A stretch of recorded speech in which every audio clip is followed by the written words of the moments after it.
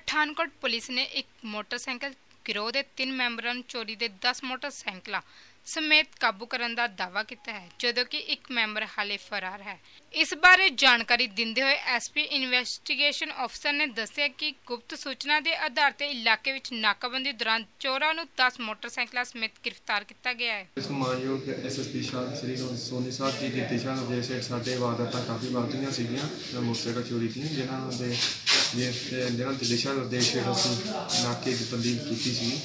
ਜਿਸ ਦੌਰਾਨ ਜਿਹੜੀ ਸਾਨੂੰ ਵ ਬਹੁਤ ਵੱਡੀ ਸਫਲਤਾ ਹਾਸਲ ਹੋਈ ਹੈ ਪਠਾਨਕੋਟ ਪੁਲਿਸ ਨੂੰ। ਇਹਦੇ ਵਿੱਚ ਅਸੀਂ ਜਿਹੜੇ ਆ ਤਕਰੀਬਨ 10 ਮੋਟਰਸਾਈਕਲ ਜਿਹੜੇ ਹੈਗੇ ਆ ਉਹ ਰਿਕਵਰ ਕੀਤੇ ਨੇ, ਜਿਹਦੇ ਵਿੱਚੋਂ 8 ਪਲਸਰ ਨੇ, ਇੱਕ ਮੋਟਰਸਾਈਕਲ ਬੁਲਟ ਹੈਗਾ ਤੇ ਇੱਕ ਪਲਸਰ ਮੋਟਰਸਾਈਕਲ ਹੈਗਾ। ਇਹ ਸਾਹਿਲ ਨਾਂ ਦਾ ਵਿਅਕਤੀ ਸੀਗਾ, ਜਿਹੜਾ ਮਮੂਨ ਦਾ ਸੀਗਾ, ਇੱਕ ਸਾਹਿਲ ਜਿਹੜਾ ਗੁਰਦਾਸਪੁਰ ਦਾ ਹੈਗਾ।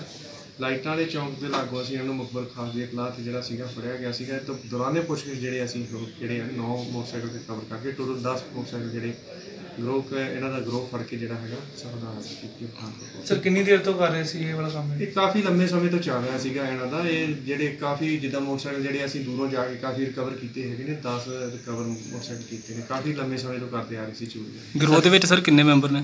ਇਹ ਗਰੋਹ ਦੇ ਵਿੱਚ ਹੈਗੇ ਜੀ ਚਾਰ ਹੈਗੇ ਨੇ ਜੀ, ਤਿੰਨ ਅਸੀਂ ਗ੍ਰਿਫਤਾਰ ਕਰ ਲਏ ਨੇ। ਇੱਕ ਦੋਸ਼ੀ ਜਿਹੜਾ ਉਹ ਗ੍ਰਿਫਤਾਰ ਪਠਾਨਕੋਟ ਤੋਂ ਗੁਰਦੇਵ ਸਿੰਘ ਜੋਹਲ ਦੀ ਰਿਪੋਰਟ A1 ਪੰਜਾਬੀ ਟੀਵੀ